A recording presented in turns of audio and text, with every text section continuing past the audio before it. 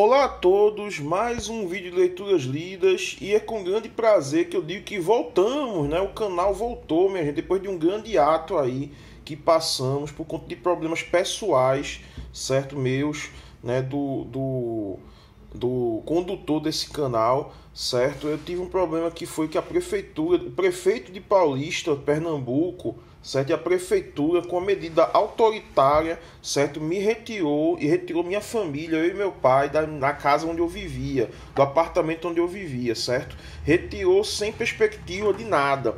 Então, por conta disso, tivemos que nos mudar à pressa e por conta disso tivemos esse ato no canal. Espero que nos perdoe. Eu vou botar uma reportagem do site Brasil de Fato, certo? Um excelente veículo de comunicação para vocês verem o que aconteceu é, para esse problema todo, certo? E, e com grande prazer, né, que a gente volta trazendo aqui um clássico dos quadrinhos, certo? Na, na, na sessão de clássicos eu trago a vocês essa edição de Editora Salvati, né?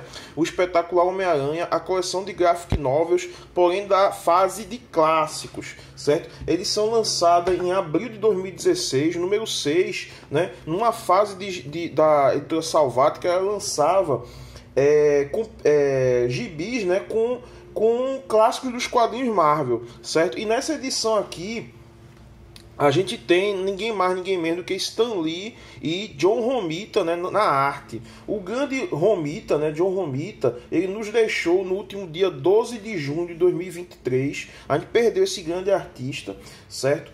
E, e aí, mais, aqui estamos numa homenagem singela né, a, do, do meu canal, do nosso canal, para esse grande artista. Certo? Tivemos aí outro, outros materiais já é, do John Romita, vou botar o link no final do, e, e falar no final do vídeo. E aqui a gente tem o, é, o cara que foi responsável pela direção de arte da Marvel até o ano de 1980. O John Romita, ele, ele estava trabalhando nas páginas do Demolidor, certo? Ele chegou a desenhar um encontro entre Homem-Aranha e Demolidor, inclusive isso muito me interessa, né? É, e aí depois ele foi para o Aranha, né? Para o Homem-Aranha após a saída do seu grande criador Steve Dicto certo? O Romita, né, o Romitão para os íntimos aí, ele não estava é, muito seguro né, de assumir o lugar do grande Steve Dicto.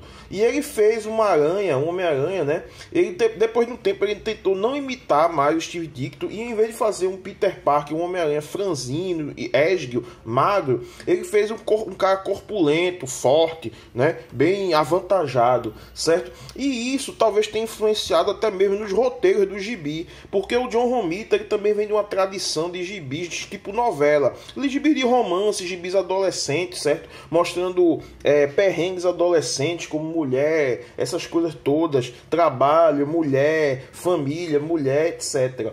E aí a gente vai vendo essa mudança também nos roteiros, onde a vida de Peter Parker, né, o alter ego do Homem-Aranha, ele vai é, começa a ser mais esmiuçada, né? A gente vai ver, a gente vai ter mais passagens onde o Peter Parker aparece com o pessoal da universidade com sua tia, com a Mary Jane. E também é nessa época que o romance, né, a relação de Peter Parker com Gwen Stacy vai se aprofundar, né? Aqui um grande momento aí dos gibis onde o Stan Lee, né, deixou a cargo do leitor que ele escrevesse para ele, né? Não satisfeito que os, os desenhistas escrevessem para o Stan Lee, ele quis que o público escrevesse para ele no que, que tem os balões aqui, né? Aqui a gente tem a história onde o, lagarto retorna, a gente tem a estreia de Shocker, né, esse vilão patético, certo?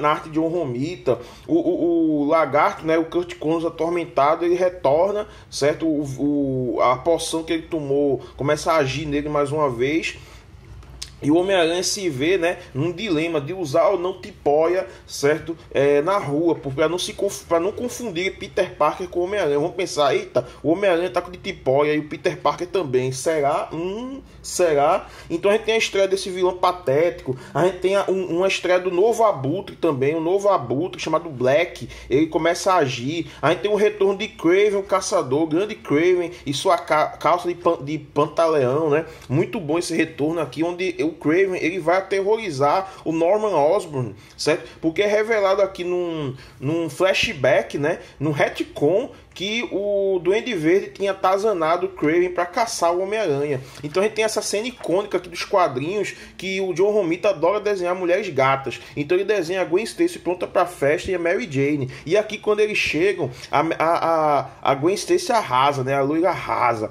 certo? Inclusive tem uma tradução muito boa aqui do, do da, da Spider-Man Collection, pela editora Abril, com uma coleção de 16 edições, que o cara diz assim, pô, eu devo estar tá muito bêbado, né? Infelizmente aqui a tradução não foi a mesma.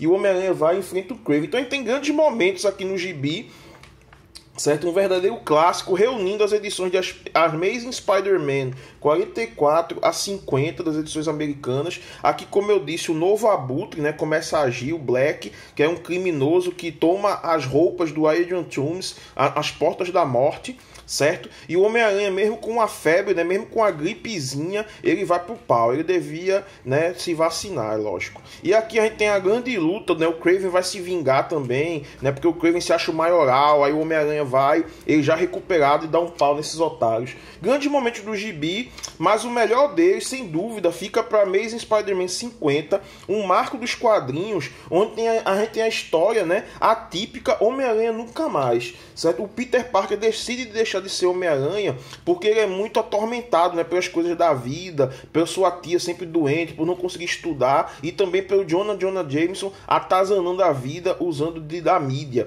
certo? Então a gente vai ter esse momento que o Peter vai abandonar né, o uniforme, né, um grande momento dos quadrinhos, vez ou outra nessa época, o Peter ou perdia os poderes ou queria deixar de ser Homem-Aranha e gerava esses momentos grandiosos né, quando ele voltava triunfante. Então a gente tem um grande momento de estreia de outro grande personagem que vai se tornar um grande vilão do universo Marvel, que é o Rei do Crime. Ele começa a tomar a cidade né, para si, se aproveitando da, da, da ausência do Homem-Aranha. Né, como eu disse, a relação de Peter com o Gwen vai se aprofundar, só que que aí o Peter se lembra porque ele se tornou Homem-Aranha para começo de conversa e vai pro pau. Tem uma, uma cena bastante interessante que é um gancho para a próxima história, onde esse babaca do Frederick Foswell, que era um capanga também nas edições mais antigas, ele, ele tem um grande nome de O Maioral, certo? Ele é o chefão do crime chamado O Maioral. Então ele chega pro rei e diz: Olha, rei, tu é muito bom, mas eu sou mais safo. Então obrigado por cuidar tudo de mim, deixa eu ser rei do crime agora. Aí o rei do crime fica puto com ele, quase que mata o cara. Muito boa essa sequência.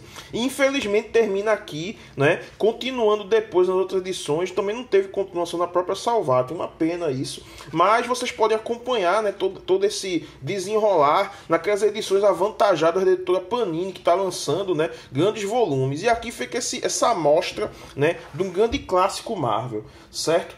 É um grande momento das HQs, um gibizão, né? John Romita vai deixar saudade sem dúvidas. Vou deixar no link da descrição do vídeo outros materiais de John Romita analisados. A gente teve aqui até a do Aranha número 4, pelo editor Abril, onde o Homem-Aranha encontra com a Medusa, certo? E também a volta de John Romita, né? Ao, de ao desenhar o Homem-Aranha, Stan Lee faz... Fa ou não, perdão, não é o Stan Lee, não. Acho que é o, o Roy, Roy Thomas ou o JM de Metz faz um roteiro e o John Romita volta a escrever, né? Onde é a morte do Rei do Crime. Vou botar esses gibis no link da descrição descrição do vídeo. Concordam, discordam, digam o que acharam nos comentários, se inscrevam no canal, apertem notificações. Obrigado a todos pela paciência.